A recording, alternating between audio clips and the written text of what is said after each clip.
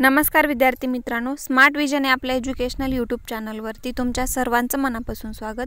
आजच्या व्हिडिओमध्ये आपण internet of things means I O T या टॉपिकवरती काही एम सी क्यू पाहणार आहोत. तर व्हिडिओला स्टार्ट करूयात. आपला पहिला क्वेश्चन आहे what is an embedded system correct answer is option number D combination of computer electrical and mechanical system next question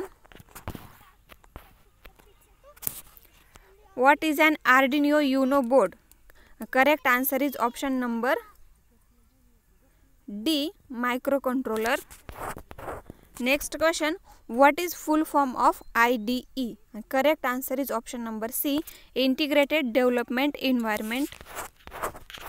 Next question. Which of the following is absent in IoT gateway? Correct answer is option number C. Photovoltaic cell. Next question.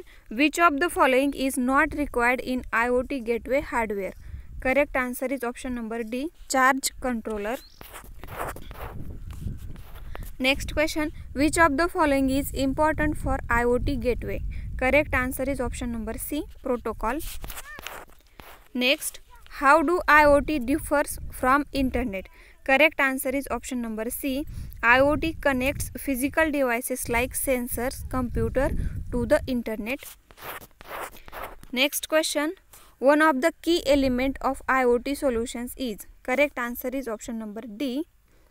GUI means graphical user interface.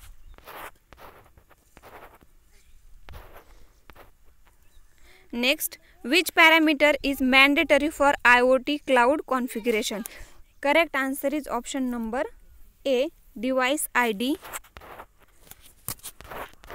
Next question How IoT connects with cloud? Correct answer is option number A through gateway.